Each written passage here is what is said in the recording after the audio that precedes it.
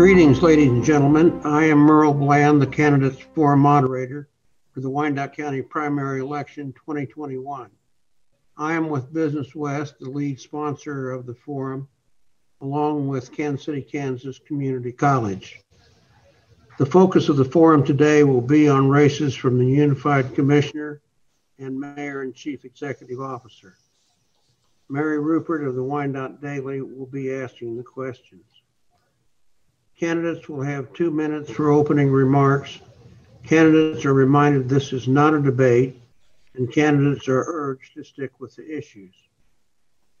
First, we will hear from candidates from Unified Commissioner at Large, Second District. The first candidate that we will hear from is Tom Burrows, the incumbent. Tom, you have two minutes to make introductory remarks. Thank you, Merle. Well, it's a privilege to be here today, and, and I want to thank the organizations for hosting us today, Business West, in, in cooperation with the Kansas City, Kansas Community College. It's always a pleasure to uh, be before the public and let them have an opportunity to see our platform. Uh, I, I'm not a stranger to the political environment in Wyandotte County.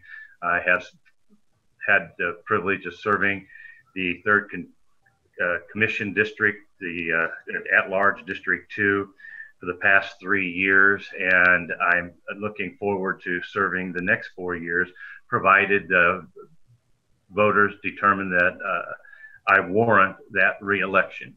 I've been, I'm a Wyandotte County resident. I'm born, raised, educated uh, in Wyandotte County.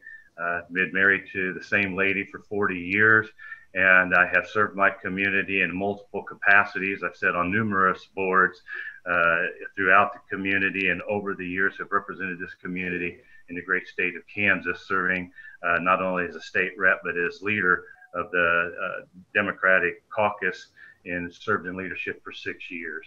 Uh, I stand ready to assist in any way that I can and address the questions in the platform that I have here this, this afternoon that I know will be presented. And uh, as I stated, uh, I, I look forward to the opportunity to answer those questions. Okay. Thank you. Now we'll go to our next opponent, Ned Kelley. Ned, you have two minutes. All right. Thank you so very much for hosting us. Uh, first of all, my heart goes out to Claudine. I know we're all wishing her a, a very speedy recovery. So, also, first of all, I suppose that would be second of all, then, the spelling of my name is Kelley, K E L L E Y. I like to make that very clear that that is different from the spelling of the governor of Kansas, and I am not related to the governor of Kansas. So if you're looking for me, remember K E L L E Y. You could find me on Facebook at Kelley for Wyandotte. Check me out there. Twitter, I'm at Ned Kelley, N A P. I have, well, uh, let me first say I'm a small business owner along with my girlfriend, Mary Gerlt who happens to be running for BPU. You need to check her out as well, please. And a friend of ours, we own an aerial photography company, and that is really taking off, pun intended. Get it? Because of the, the drones. And I have been an active member of the Libertarian Party for well over 20 years. Uh, most recently, as chair of the Libertarian Party of Kansas we have faced in this country and in this county a crisis of liberty over the past year and a half. They told us where we could go, what businesses could stay open, and which ones had to close, how many people could gather together. They even had mandates about what you had to wear on your face. And now they're trying to tell you what you have to do with your body for your own health choices. Uh, Wyandotte County had the opportunity, as did all counties in Kansas, to come up with our own set of restrictions, and we should have, and we should have been much more lenient than the state mandates. My goal is to maintain your health freedom, your personal freedom, and your financial freedom next time and going forward. Thank you. Now we will go to the questions from the panelists. Our panelists are Mary Rupert from the Wyandotte Daily Online, and Elnora Jefferson from Groundwork Northeast Revitalization Group. We'll start with Mary Rupert, and she will ask questions of Tom Burrows. Tom? Um, what are your top priorities in spending the $87 million the UG is receiving in federal funds? Thank you, Mary. That's a great question. That's a question a number of us in the commission have asked one another because I believe I may have my uh, rathers and the commission mem- other commission members will have theirs. But first and foremost, we had frontline health workers and public safety individuals that put their lives and limb in great uh, harm's way during the pandemic and forced overtime, mandatory service during the pandemic and I have uh, advocated already that a part of that money go to uh, ensure that there was a bonus paid to those workers to recognize the mandated overtime and work schedules that they were put forward. I think it would send a, a strong message to those that gave up their uh, service to us during the pandemic that we are partners in this process. That is the number one, uh, one, one of the items. Number two, the other items would go to backfill some of the lost revenue that we've had in the criteria set out by the federal government in, re- in reference to the ARPA funds. And we, as a commission, we are running through those collectively now, and we will have full discussions about how we want to spend those, how we want to spend those dollars. Ned Kelley, your response to the same question. So you, you're asking me how I want to spend your money. You're asking me how I want the UG, the Unified Government of Wyandotte County, to spend the people's money. The short answer is I don't. I want to make it as difficult as possible for the UG to spend the tax people, the taxpayers' money. If we can't give it back to them outright, I want to save it as much as possible, reduce as many spending projects as possible, uh, to make to make that um, to make those funds last so that we can cut taxes going forward as, as much as possible. There's too much cronyism, there's too much nepotism.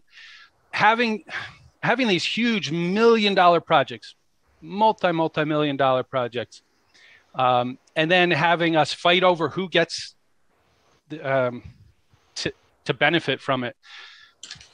It's it's ridiculous. As a libertarian, I want you to keep your own money uh, I want you to make those decisions for yourself. Spend it locally. Yes, we need baseball fields, we need swimming pools, we need programs, uh, parks, and stuff like that. But we can do a much better job locally, voluntarily, YMCA, community organizations, and things like that, rather than funneling the, this money into huge corporations. It's not capitalism, by the way. I've said this before, and I'll say it again. It's capitalism. That's when you take cronyism and add it to capitalism, you get capitalism. And we, we in the uh, UG, uh, Wyandotte County, is probably the epitome of, of that showing up here. So, how do I want to spend your money? I don't. I want you to keep your own darn money. Thank you. Okay. Next, we'll go to Elnora. Elnora, your question, please. Okay, thank you and, very much, Merle. So good afternoon. Um, this is my question. When presented a proposal that includes using money to pay down the debt or allocate money for social or civic needs, what factors must be weighed in that decision? And we'll, we'll go to Ned Kelley. Ned, your response first.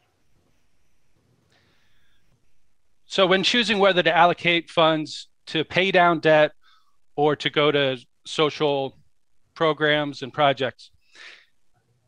Again, I want you to keep your funds. I want to keep I want you to keep your money. So that means paying down debt. The more we can pay down debt and not rely on funds coming in from property taxes or even funds coming in from the, the feds, you know, the federal government giving us free money.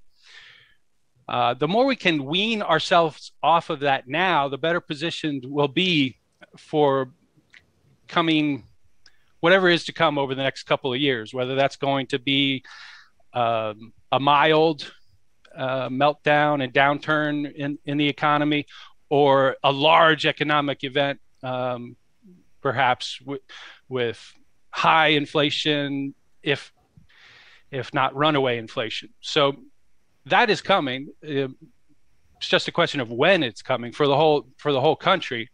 Uh, and so Wyandotte County is not going to be a, uh, immune to that by any means. So the quicker we can wean ourselves off of that, uh, the better we'll be when it comes.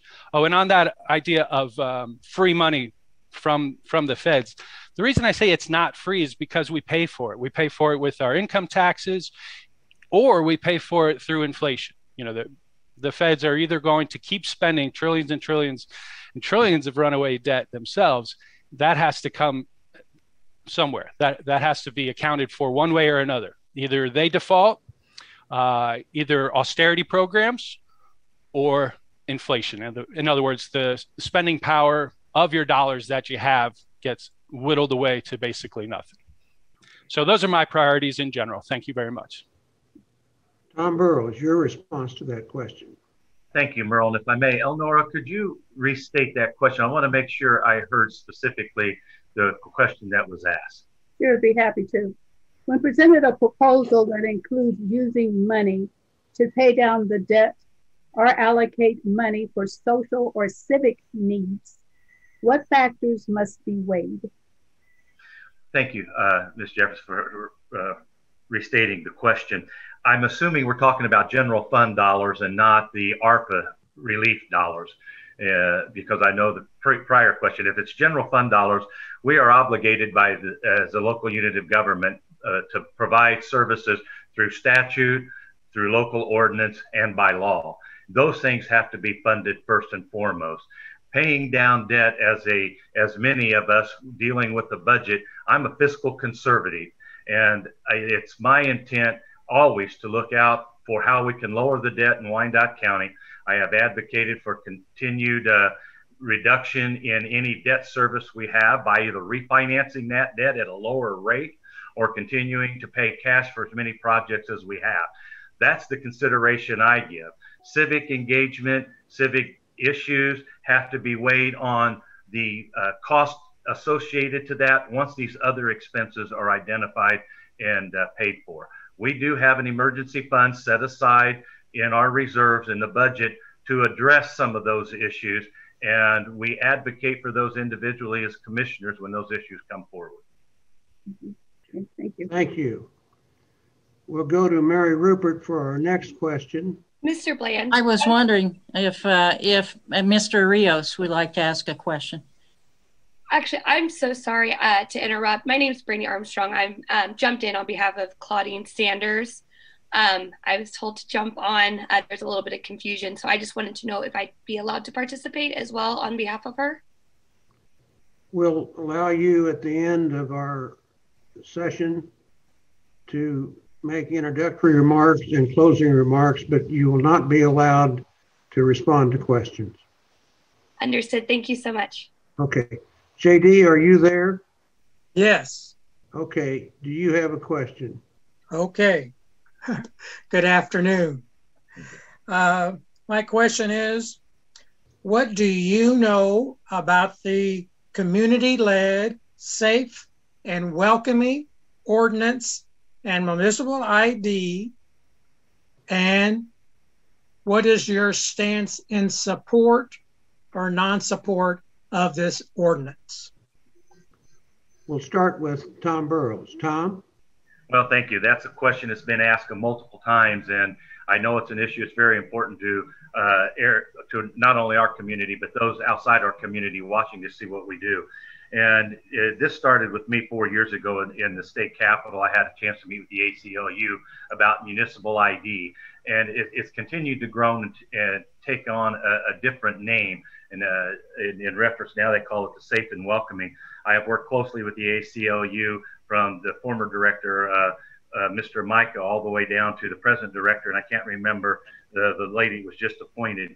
But you know, when I first became a commissioner, I did bring in the ACLU to meet with our police chief and our sheriff and a few of the commissioners and had this discussion initially because I think it's important that we don't have to reinvent the wheel. Other communities have implemented the municipal ID as well as safe and welcoming. Locally, Roeland Park has introduced one, and they they have one on the books. And I think it's important that we look at what other communities do to have that uniform presence all across the metropolitan area.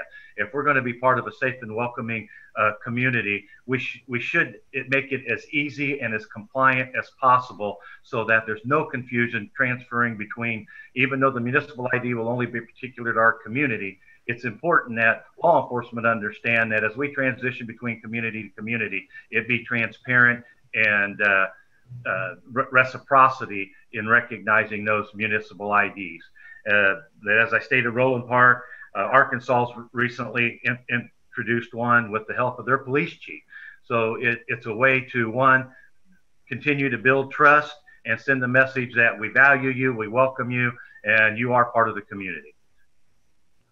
Thank you. Ned Kelley, your response to that question. Sure. And thank you, Mr. Rios, for the question. Safe and Welcoming has two parts to it. The first part being a, a local ID, a municipal ID, and the second part being basically a non-compliance with the, the feds, uh, ICE. Let me start with that second part because I am wholeheartedly in favor of that. Even if we don't end up passing safe, safe and welcoming, I would love for Wyandotte County and Kansas City, Kansas, to become perhaps you could call it a sanctuary city, a sanctuary county, where we don't let don't let the feds in, don't let them come harass our folks, whether they're considered citizens or non-citizens. I am all in favor of keeping those federal agents out and not, you know, have, you know, what that would look like is uh, hopefully our sheriff's department and our police departments would protect individual rights. And while we're at it, let's keep the F- FBI out, the alcohol, tobacco, firearms out, the um, DEA out. You know, those are unconstitutional laws to begin with whether they're unconstitutional drug laws or gun laws, keep the feds out of it.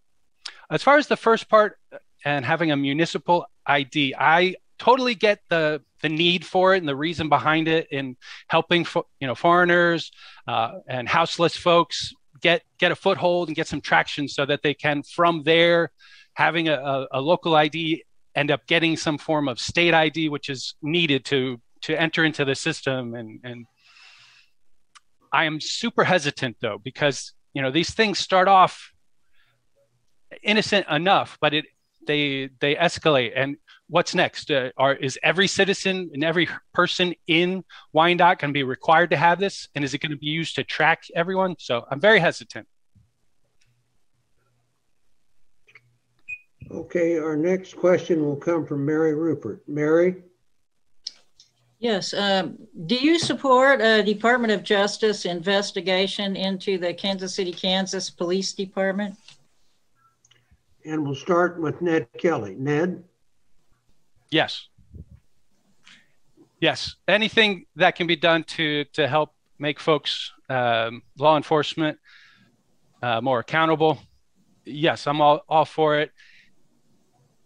Now, would that simply be the you know, the watchdogs checking in on themselves.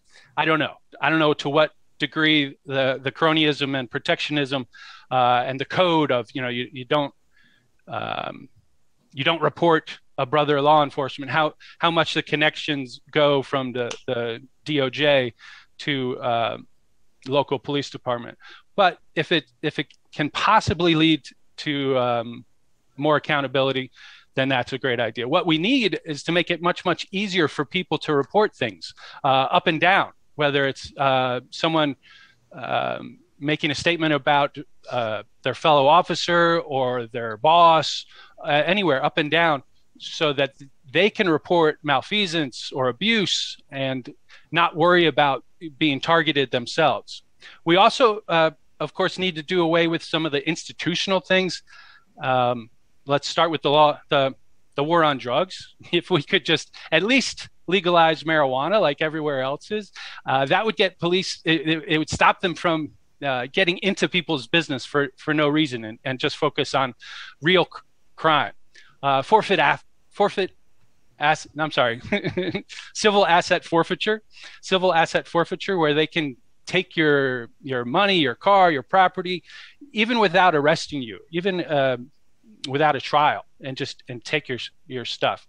Um, and what's the other one? Immunity. Qualified immunity. Definitely need to end qualified immunity on every level. Thank you. And your response, Commissioner? Tom? Thank you. I Your wanted to response. Thank thank you. I've had the uh, opportunity to visit with our new police chief. I believe he is very qualified, and I will support the chief in whatever action he chooses to move forward. I do know that uh, he needs an opportunity to uh, get settled in his new position.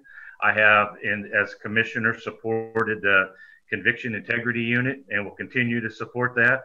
I uh, have strongly uh, supported community policing along with the Powell Center, and I would support the uh, Chief Oakman's cold case squad. I believe as a new police chief, he has to, uh, should be warranted the opportunity to determine what investigation of his agency, if he feels it's necessary, is warranted. I would also state that uh, there is a present investigation going on that has been continued. Uh, I know it's been out there for quite a while, and I know the public has been asking those questions and why something hasn't been uh, moved forward. But I do know that, uh, as we know publicly, that the KBI and the FBI have continued their investigations. I don't believe that uh, I can state anything other than what others have read in the uh, in the paper or in the media has been shared. That uh, as far as calling a criminal justice in, that I believe the legal departments that are doing the investigation will make the determination as to what is necessary. Okay. Now we will move to uh, Brandy Armstrong, who is speaking for Claudine Sanders, who is a candidate. And she will present opening remarks and closing remarks for Claudine Sanders. Brandy?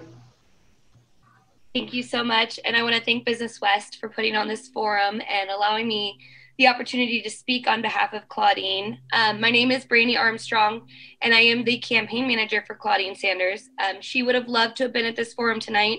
And if we make it past the primary, I'm happy to announce she has been released from the hospital.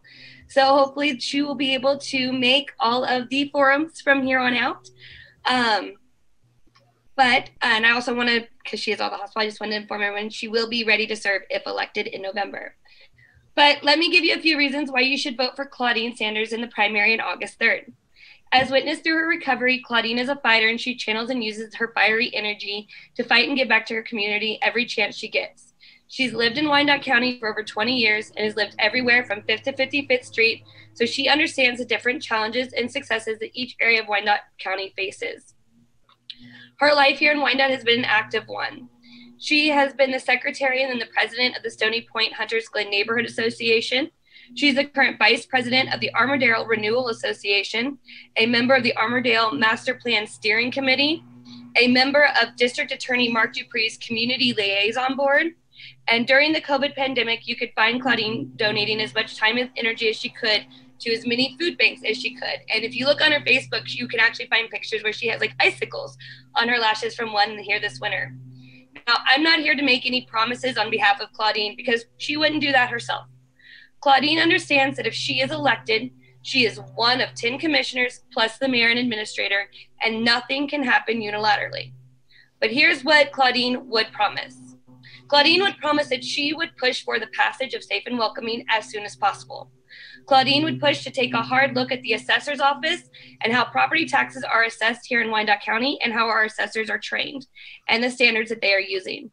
Claudine wants to make sure that our KCKPD officers and sheriff's office are funded, but that the unified government is also spending money on social programs that make it to where the police are focusing on their jobs, which is to solve crimes and protect us from violent crimes, not to be mental health crisis counselors our officers should be focused on that.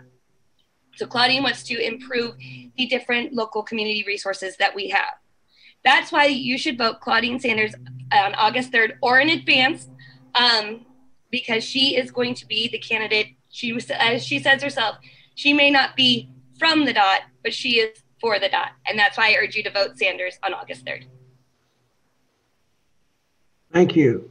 Now we'll move to closing remarks. For the at-large district. And we'll start with Ned Kelley. Ned? Thank you. Again, thank you all for hosting this event and best wishes for, for health for Claudine. Thank you, Brandy, for, for being here. And again, I want to mention that the spelling of my last name is K E L L E Y, no relation to the Kansas governor. Find me at Kelley for Wyandotte on Facebook or Ned Kelly, NAP, on Twitter. Like I said at the beginning, I want to stand for, I will stand for, and I always stand for your freedoms, all of your freedoms, all of the time.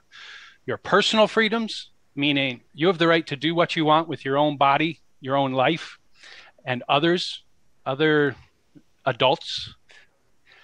You have the right to do what you want with your own money, your own finances. I'll always stand for your financial freedom. There were so many businesses impacted by the so called pandemic, not so much by that, but by government's response to it, of course, the lockdowns and stipulations about how long you could keep your business open hurt the small business owner, helped the big block, the big box stores and Amazon, of course. And now, of course, when they're having a multi-million dollar advertising campaign for a new technology, um, I really feel sorry for for the big pharma companies out there who, who are just trying to help out. Uh, that's some sarcasm there. And your health freedom. Only you have the right to do what you, what you feel is right for your own body. Um, anyone 18 and older, that is. Now, I want to protect your freedom, whether I agree with it or not. There are, there are certain things, whether it's about masks or injections, that I don't think are very good idea. But I'll protect your right to make that choice for yourself. Thank you. Okay. Commissioner, your response. You have one minute. Thank you. Uh, and I too want to thank Business West in cooperation with Kansas City Kansas Community College for hosting this event uh, this afternoon. Uh, I, I'm a community servant, have been a community servant for the last 30 years. I've sat on numerous boards, not-for-profit organizations. I've assisted small businesses. Uh, I've been a, a, my mother ran small businesses when when I was younger. I grew up around small business. I have retired from Colgate Palmolive Company in Kansas City, Kansas, and having served in the legislature for 25 years, uh, doing on the budget committee as well as the tax committee, it has prepared me greatly to serve this local community as a commissioner with an eye on fiscal conservative. As I stated, the fiscal issue, I believe the Wyandotte County taxpayers deserve to have transparency, fiscal accountability, a responsible, responsive government. And it has been my commitment to them the last three years to do just that, even to the point that at times it uh, does chafe some others when I ask the tough questions, but I'm willing to stand and uh, vo- vocalize and advocate for those that uh, may not be able to do it for themselves. I would be honored and humbled to again serve as your commissioner at large. I believe that my experiences has prepared me well, and I'm stand ready to partner with any of those that want to move the community forward. All the leaders that we have in the community have one thing in common, and that's to serve. And uh, I don't believe a public servant is a bad thing. And I'm very proud of the commitment I have made with some of the uh, notices you see behind me on the wall, some of the awards I've received, is just a small inkling of the commitment I have made to this community and the recognition by others for my service. That I stand ready to to move forward going into the primary, and but I do need your help. both Tom Burrows August 3rd primary election, and please return me to serve you in the unified government. Thanks, the candidates, for participating.